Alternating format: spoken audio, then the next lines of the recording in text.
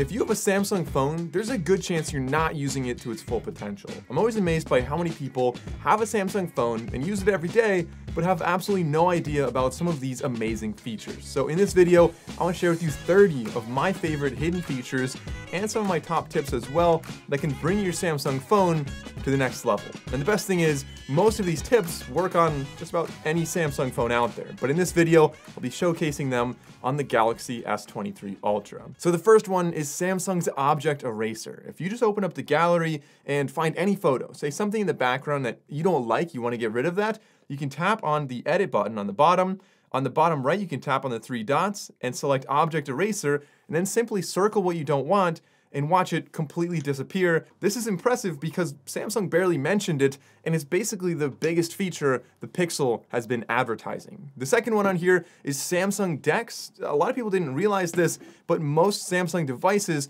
double as an entire desktop. So not just a phone, but if you plug this into a TV, a projector, a computer monitor, it unlocks an entire desktop experience. You can use a mouse, a keyboard, use a file explorer, drag and drop, do everything you normally would on a laptop, but is powered by your phone simply plugging in an HDMI through an adapter to your USB Type-C. Now, personally, I use this a lot for hotels. It's an easy way to get Netflix on the TV. You could use this for meetings if you want to just bring a presentation and, and set it up with your phone. It's honestly super useful. But the next one on this list is actually extending screenshots. So many times, I'm sure you've done this, you've had a long web page, maybe an email or something, and you take a bunch of screenshots as you scroll down. Well, with this, you can actually take one screenshot and then once it pops up on the bottom, tap on the bottom left, that little down arrow, and it'll keep scrolling down as much as you want to have one really long screenshot instead of taking many screenshots at different points on the page. The next three on this list allow us to really customize a lot on our phone, but they do require one app. So if you go into the Galaxy Store and you download what is called Good Lock, you'll be able to go in GoodLock and get something called Registar. So once you have those, you can go to GoodLock, open Registar, and you'll see there's a bunch of things here. The first one is actually choosing the side key press and hold. So it's your power button. If you press and hold it by default, it opens Bixby, Personally, I don't like using Bixby. Instead, I would much prefer to use Google Assistant. So I can turn this on and we can actually do a lot of things here. You can take a screenshot, you could access Google Assistant, that's what I'm going to do, or you could turn on the flashlight, you could turn on auto rotate. There's a whole list of different things it can do, including open other apps Maybe, for example, if you want to open Snapchat or something like that. Now, the next two are kind of bundled together, so I'm just counting it as one. And this is double or triple tapping the back of your phone. Once again, within the Registar app here, if we say back tap action, we can choose double tap and we can choose this to maybe show notifications or show recent apps, or it could, you know, start a pop-up window. And so if I just say access Google Assistant and I'm anywhere on my home screen, I can double tap the back and it'll open up Google Assistant just like that. Now, that is just one of the many things you can do with that.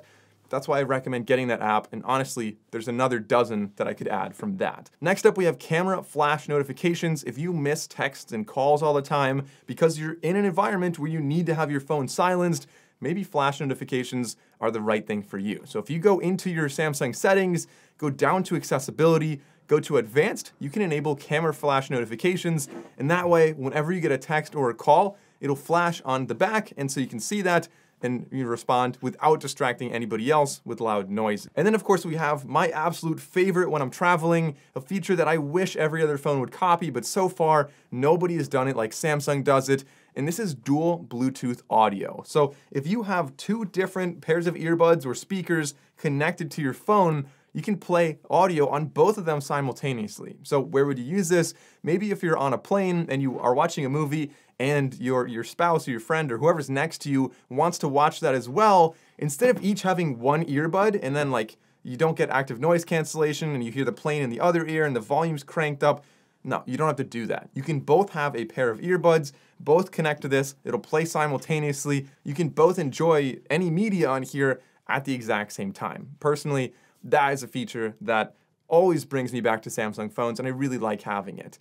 Next up, we have one-handed mode. Of course, it's no secret Samsung makes some pretty gigantic phones, this one in particular, and if you have smaller hands, it could be really difficult to use this phone with just one hand, unless you use one-handed mode. All you have to do is swipe down from about a centimeter above the middle of the bottom of your phone, and that'll bring it into this mini phone mode within the giant display. It takes up maybe a third of your screen, and it's really easy to access with one hand. Personally, I don't really need to use that often, but it's a cool thing to have. Speaking of cool accessibility features, there's also the palm swipe screenshot, which means you don't have to worry about tapping both buttons at the same time. You can just swipe your hand across the screen as long as you're using the edge of your palm, and it'll take a screenshot for you. Now, if you have a Samsung laptop, a Galaxy Book, then this next feature is one that you can definitely use. And this is called multi-control. Apple made something similar, they call it universal control. And essentially you can drag your mouse between your laptop and this phone, an easy way to share files or just move things around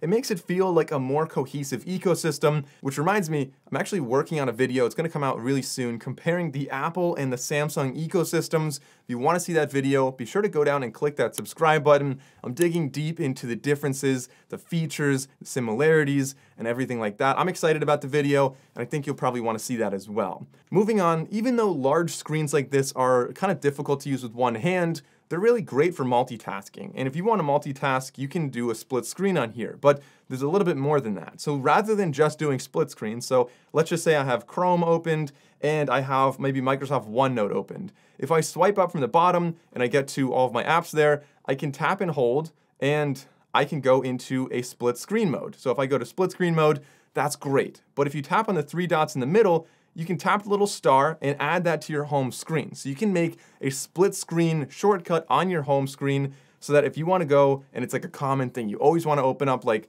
uh, maybe Spotify and Maps, maybe Google Chrome and uh, OneNote, something like that. You can just tap that, it'll open them in split screen. It's super useful, especially for people who are looking for shortcuts to speed up and improve their productivity. So we're cruising right through these. This next one doesn't require any settings. It's one of my favorites, and it's the ability to double press the side button, the power button essentially, to open your camera. And this is great because if there's a quick instance when you want to take a photo, it's the quickest and the easiest way to open your camera so you don't miss the shot. Maybe your kid did something great in a sporting event, maybe it's a nice sunset, maybe you saw Bigfoot or aliens, whatever it is, you're not going to miss that shot because you now know how to open your camera very quickly. So whenever you get that shot of aliens or Bigfoot, be sure to tag me. Speaking of camera, if you go into settings and you go down to shooting methods, you can actually enable the floating shutter, which means that you can move it around again with the concept of having a large screen here. Sometimes you wanna hold your phone in a different orientation and it's just easier to access the shutter if it's not all the way on the bottom. Maybe you want it in the middle or wherever. You can move it anywhere you want and have a second shutter, super useful to have. Speaking of the camera app, you can also use the camera app to scan documents. I'm always amazed by how many people have a Samsung phone, especially a newer one like this, and then they'll go and download a scanning app. Now, there are some benefits to having some scanning apps, I get it, but in general, this does a fantastic job, and I use it for almost all of my scanning that I need to do. You simply point your camera at any document, it'll outline it in yellow, and you can just tap scan, it'll scan it for you and save it but besides photos and, and, document scanning, your camera is also very useful for something called Google Lens. So from your home screen, you probably have a search bar from Google. If you tap on the camera on the right side, it'll open up Google Lens. You can take a photo of anything, maybe a bug or a tree, and it'll identify what it is for you. I personally use that in the garden. If there's some kind of disease on a plant, you could take a photo. It'll do a great job of leading you in the right direction, or maybe translate. You could do another thing. You could translate from another language uh, for example, I went to Japan a couple weeks ago and uh, I could not read the menus. I don't speak Japanese, but using my phone, I was able to translate that and it was super easy to read the menus in English, but ordering was still pretty difficult. Next up, we have the ability to protect files, photos, documents, whatever, with a secure folder. So if you scanned a document and it's some kind of sensitive information, or if you took photos that, I mean, I don't judge if you don't want people to see them, you can move it to a secure folder. Now, the secure folder is a great way to keep it as a, a, essentially password protected folder that other people who maybe you hand your phone while you're driving, they won't be able to see that. Next up, we have the ability to privately share for secure file sharing. Again, if you want to send things and you want to make sure that, you know, they're shared safely and securely, you can use this feature. Getting back to the Samsung Photos app, you also have the ability to create a GIF. It's essentially like a little moving photo, little tiny short video. You've seen them on your keyboard, sending them whatever. Um, but you can do this very easily by selecting in, so if you just go into your gallery and then you choose the photo, you tap select, and then you can say create, and you can create that. Now there's other things you can create as well if you wanna make like a little highlight reel or something like that. But personally, I found that creating GIFs is the most useful.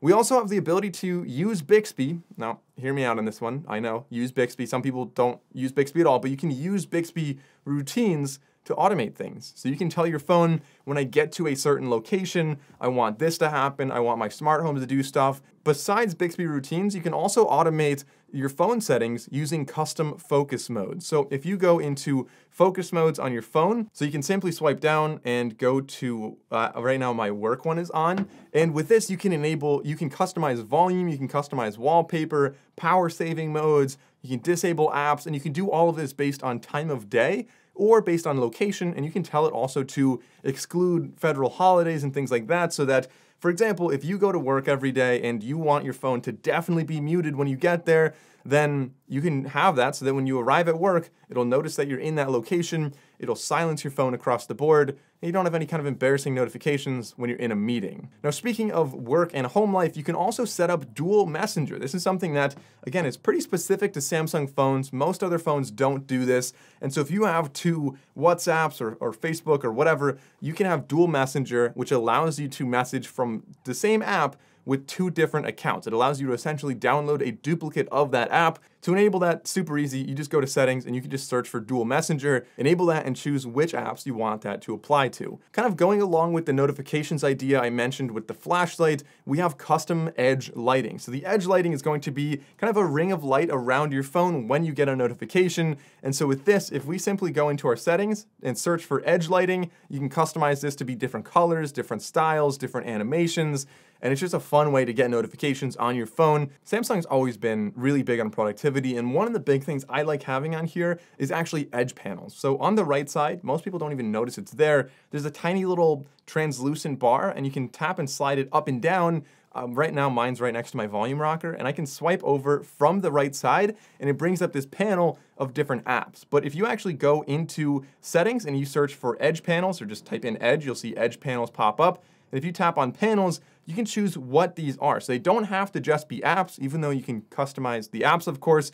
You can have things like Smart Select, a great way to take screenshots of different parts of your screen. You can have the weather. You can have tools like a compass or uh, a ruler, for example. You can have reminders. You can have a clipboard. So it can really do a lot that kind of brings your phone to the next level. Now, if you've ever swiped away a notification that you really wish you saw, you can actually go into notification history and see things that maybe you accidentally got rid of. So if you go just into settings again and you can search for notification history, you can simply tap on that. You can tap on notification history and make sure that is enabled.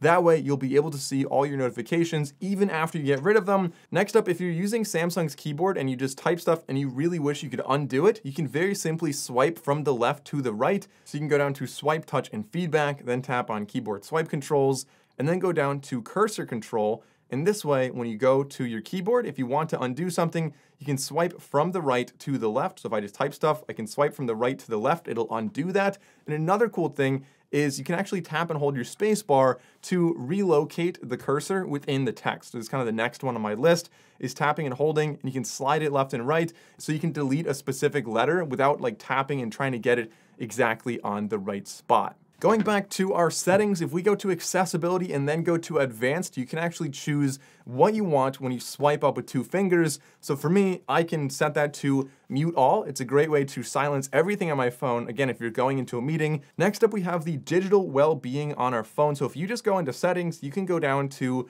what Samsung calls digital well-being. And it actually really came a long way in the past couple years. No longer does it just tell you your time that you were on your phone in the day, but you can actually see a lot more than that. Like driving monitor tells you how much you used your phone while you were driving. I hope you're not using your phone while you're driving, but it'll remind you if you are, you'll see it right there. You can also see a volume monitor, a great way to make sure that you're not damaging your hearing, and all of that is in digital well-being, a feature that a lot of people might not even know even exists there. This next one has been blowing the minds of iPhone users for years because Samsung has really for a while been able to have video wallpapers, which personally I've always really liked. But in more than just a video wallpaper, you can actually select a gallery of video wallpapers so that every time you wake your phone, you have a different video wallpaper. So all you have to do is go to your wallpaper. So if you just tap and hold on the home screen, we can tap on wallpaper and style, we can tap on change wallpaper, we can tap on gallery, and then all you have to do is go down and select the videos you want. You can choose up to 15 different videos, and you, gener you generally want them to be shorter videos, like maybe 10 or 15 seconds would be ideal, and your phone will cycle through those different videos every time you wake your phone. And now last but not least, when you're setting up your phone, I hope you're using widgets. There's a lot of really cool ones you can add on here. But did you know you can actually create a stack of widgets? So if I tap and hold on my home screen, I can tap on widgets and let's just say I want to add maybe a widget for my battery. So if I add this 4x2 battery status one, and then if you tap and hold on the widget, you can go and tap on create stack. Now, once you create a stack, you can have as you know multiple different widgets on here and you can just swipe up and cycle through them. So you can have one for the weather, you can have one for your stock portfolio. And it's a great way to save space on your home screen by having one stack of widgets. So that's it. Those are my top 30 tips, tricks, features onto Galaxy phones. If you enjoyed this video, consider liking and subscribing. And of course, leave a comment below letting me know which features I didn't mention that you really like using on your Samsung phone. So I'm Mike O'Brien. Thanks for watching, and I'll see you in the next one.